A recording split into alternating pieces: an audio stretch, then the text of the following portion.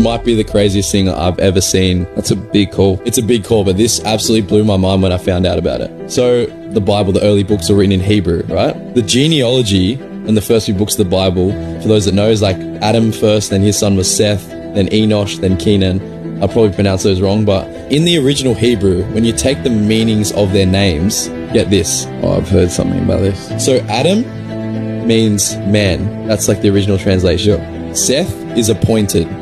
And then the first 10, I'll read out each of their names, their meaning. It actually spells this Man is appointed mortal sorrow, but the blessed God shall come down teaching. His death shall bring the despairing comfort and rest. What? I don't know how long ago, but it was long before Jesus came. Wow. That's When I found out about that, imagine that God prophesying Jesus from the first people who ever walked the earth in their names. I think this might be the craziest thing I've ever seen. That's a big call. It's a big call, but this absolutely blew my mind when I found out about it. So